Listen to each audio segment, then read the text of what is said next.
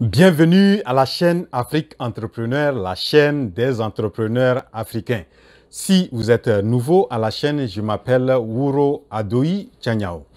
Dans la vidéo d'aujourd'hui, nous allons voir la deuxième partie de l'énoncé du problème. Vous savez, dans la dernière vidéo, j'ai donné l'importance de l'énoncé du problème. Pourquoi on doit vraiment bien euh, connaître le problème? Que euh, nous, en tant qu'entrepreneurs, nous voulons euh, résoudre. Donc, il faut pouvoir d'abord définir ce problème-là et comme ça, ça va bien permettre de trouver la solution. Donc, aujourd'hui, ce que nous allons faire, nous allons, dans la, cette deuxième partie, je vais donner la définition de l'énoncé d'un problème et les questions qu'on peut poser pour vraiment bien euh, trouver ou bien pour bien répondre à la question relative à l'énoncé du problème. Parce que pour pouvoir euh, écrire ou bien euh, définir l'énoncé du problème, il faut arriver à mettre certains éléments dans cet énoncé-là.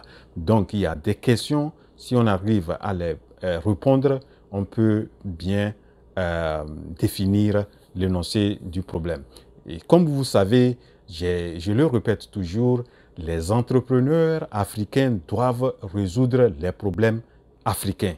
C'est dans ça qu'ils auront beaucoup contribué au développement de l'Afrique et aussi ça pourrait vraiment euh, leur permettre de créer des entreprises prospères et durables. Qu'est-ce que euh, c'est qu'un énoncé de problème? Un énoncé du problème, et surtout dans le cadre de, l'entrepreneuriat, de, de business, c'est une description claire et précise d'un problème. Donc là, le problème doit être bien décrit de façon vraiment euh, concise et brève. Vous voyez? Donc ça doit être vraiment clair et vraiment euh, pas aussi trop, trop long. Donc l'énoncé doit être vraiment clair et bref. Voilà, donc euh, c'est ça, lorsque on veut vraiment résoudre un problème, et surtout lorsqu'il s'agira d'une équipe qui va résoudre ce problème-là, il faut que l'énoncé, le problème soit bien défini. Quoi. Voilà, donc c'est pourquoi il faut arriver à avoir un bon un bon énoncé du problème. Donc l'énoncé du problème, c'est une description claire et concise du, problème qui doit être présentée à une équipe qui euh, doit vraiment travailler pour trouver la solution au problème. Maintenant, donc, euh, lorsque nous arrivons à bien comprendre euh, cette, euh, cette, cette, définition de l'énoncé du problème, nous passons donc à, aux questions qu'on doit pouvoir répondre avant de pouvoir bien définir cet énoncé-là. Donc il y a des questions très importantes qu'il faut pouvoir arriver à trouver des réponses avant de pouvoir bien écrire l'énoncé du problème. La première question euh, que nous devons d'abord euh, pouvoir trouver des réponses, c'est quel est le problème? Vous voyez, on doit savoir quel est le problème que nous voulons euh, chercher la solution. Donc, le problème, est-ce que c'est un problème, nous voulons résoudre un problème de, de l'éducation qui n'est pas bonne Est-ce que nous voulons résoudre un problème de santé? Euh, Il y a un manque de, euh, de, centres de santé. Est-ce que c'est un problème d'insécurité alimentaire? Est-ce que c'est un problème de changement climatique? Est-ce que c'est un problème de l'électrification, c'est-à-dire si on prend une zone, peut-être il manque d'électricité dans la zone. Donc, euh, problème de route, problème. Donc, euh, il y a, comme je l'ai déjà dit, en Afrique, nous avons des millions de problèmes que nous devrons chercher à trouver des solutions. Donc, il faut pouvoir définir les types de problèmes. Quel est le, le problème que nous voulons vraiment étudier? Euh, Chercher des solutions comme en tant qu'entrepreneur. La, la deuxième question que nous devrons pouvoir répondre, qui a le problème?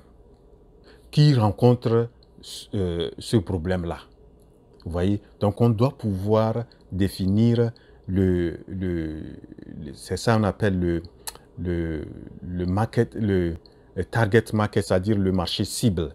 Donc nous devrons trouver euh, ceux-là qui ont vraiment le problème, surtout ce qui le rencontre. Donc d'abord, il faut d'abord déterminer ce qui rencontre beaucoup plus le, problème.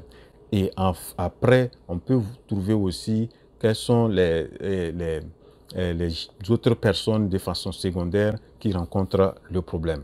Donc la priorité est d'abord à ceux qui rencontrent souvent ou euh, de plus façon à euh, prononcer le problème, il faut pouvoir les déterminer. Donc ça, c'est la deuxième question que nous devrons chercher à, répondre. La troisième question que nous devrons chercher à répondre, où se produit le problème, où on, où on rencontre le problème. Vous voyez? Donc le problème, c'est où on le, on le, on le, rencontre. Est-ce que le problème, ça se passe dans un village? Est-ce que ça se passe dans une ville? Est-ce que c'est dans un pays? Est-ce que c'est euh, dans un cadre, c'est au service? Est-ce que c'est euh, dans un environnement, dans une euh, plantation, etc. Donc, nous devons d'abord définir le lieu où on rencontre surtout beaucoup plus le problème. Voilà, donc après avoir déterminé ceux euh, euh, qui rencontrent ce problème-là, ceux qui ont ce problème-là, il faut définir où ils sont, ils sont localisés. Donc ça, c'est le, deuxième point. Donc là où on rencontre le problème. Ça, c'est la, euh, et la, troisième question qu'il faut pouvoir répondre.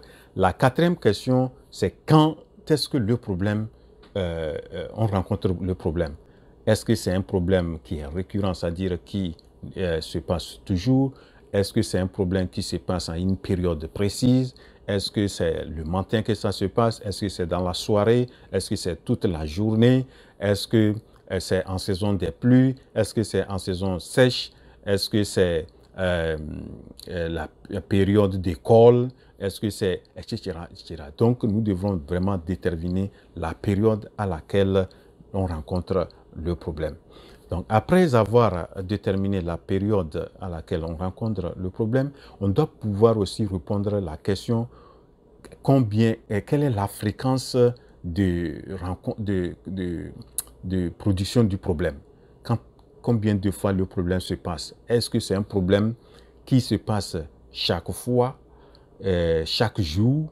Est-ce que euh, c'est un problème qui vient une saison et revient une autre saison donc, on doit pouvoir déterminer la fréquence. Est-ce que c'est 7 jours sur 7 Est-ce que c'est 24 heures sur 24 etc. Donc, il faut pouvoir déterminer la fréquence. Donc, la question suivante aussi qu'il faut pouvoir à, chercher à euh, euh, répondre, c'est de savoir la, les, les, causes du problème, surtout la cause profonde du, du, problème.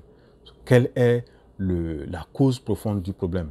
Et après avoir trouvé la cause, on peut chercher aussi les causes, d'autres euh, causes qui, les sous, les sous euh, causes, ou bien je peux les appeler sous causes, c'est-à-dire d'autres causes, les causes secondaires. Voilà. Donc, il faut pouvoir déterminer, c'est surtout la cause principale du problème. Et enfin, la dernière question qui, est vraiment très capitale, qu'il faut pouvoir trouver la solution, c'est quel est l'impact du problème. Et l'impact peut être un impact émotionnel, ça peut être un impact euh, qui agit sur, euh, euh, qu'on peut quantifier en termes de ça, ça, ça, fait perdre de l'argent, bien ça fait perdre du temps, ça fait perdre de l'énergie, etc., etc. Voilà donc les questions qu'il faut pouvoir arriver à, répondre avant de pouvoir bien écrire l'énoncé du problème. Donc voilà ce que je voulais présenter dans la vidéo d'aujourd'hui. dans la vidéo prochaine, je vais présenter un cas concret, euh, un cas pratique et avec euh, une méthode vraiment euh, que j'ai trouvé très bonne pour pouvoir procéder à l'élaboration d'un énoncé à problème pour que nous puissions vraiment définir le problème que nous voulons tacler et en fait, en, ce qui va nous permettre de bien travailler sur la solution. Donc, rendez-vous à la prochaine vidéo. Je vous demande vraiment de rester connecté jusqu'à la, semaine, euh, le mercredi prochain. Et j'espère que vous avez apprécié la vidéo d'aujourd'hui. Si vous l'avez apprécié, cliquez sur euh, euh, la touche j'aime et n'hésitez pas à partager au maximum cette vidéo. Elle peut être utile à plusieurs sœurs et euh, frères africains à se lancer dans l'entrepreneuriat. Rendez-vous donc euh, à mercredi prochain. La révolution entrepreneuriale en Afrique, c'est maintenant. Je vous remercie, votre frère Ouro.